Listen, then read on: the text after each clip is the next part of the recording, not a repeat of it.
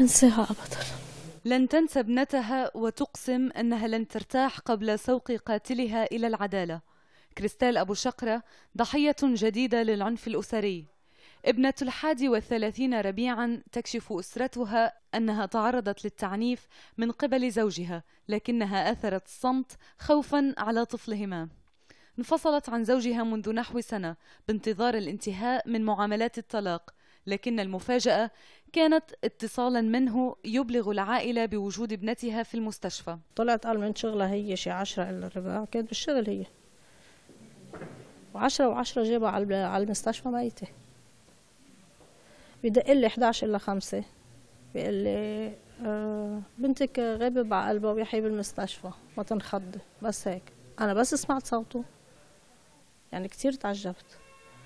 شغل راسي كتير كتير عصبت لأن أنت شو وصلك لعندها كان يبعث لها تهديدات كتيرة بيجي تحت البيت إنه بقت لي كان ياما كمان مخرطش علي الفرد وياما مقوس علي شكوك عديدة أدت إلى اقتناع العائلة بضلوع الزوج في مقتل كريستال. وصل على المستشفى وفوتها بدون ما يعرف إنه جوزها.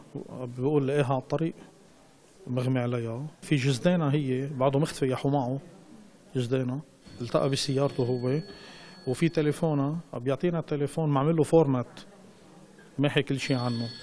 إيه، هلا التليفون يحو مع فرع المعلومات عم بيشيلوا كل شيء منه. مرة جاب أصحابه له جولة حشيشة بيربطها هي على الكرسي اللي تتفرج عليهم إنه عم بيشربوا يعني مواضيع كثير كبيرة.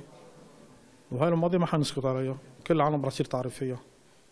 كريستال كانت لجأت منذ سنة عند انفصالها عن زوجها إلى منظمة كفا التي تواكب القضية. نحن رح ننطر القضاء بأي اتجاه بده يروح وشو الحقيقة اللي بدها تبين. الرسالة الأكبر من من وراء آه، قضية كريستال هي لمجلس النواب ولرئيس بري بالتحديد إنه نحن آه، هلأ ما عادش عندهم حجة.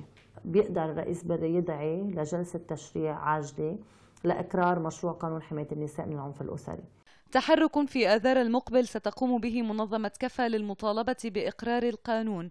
تهديه لأرواح النسوة اللواتي قتلن نتيجة العنف الأسري.